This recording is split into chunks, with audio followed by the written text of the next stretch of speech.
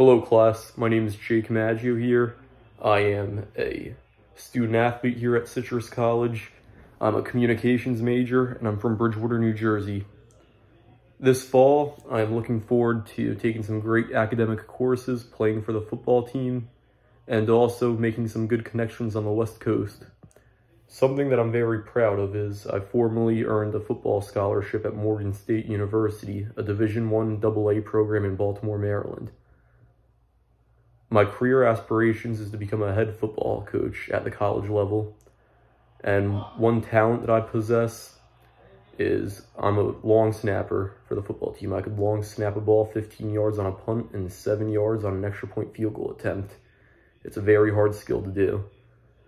So, that's a few things about me. I'm really looking forward to this class and looking forward to meeting the rest of you. Thank you. Have a good day.